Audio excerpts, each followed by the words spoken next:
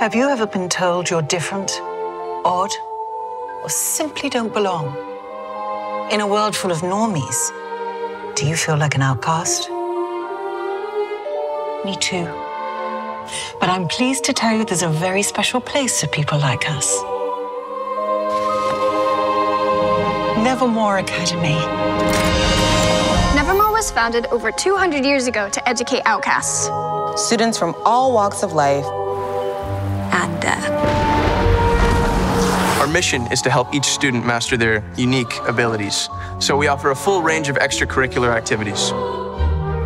From painting to archery.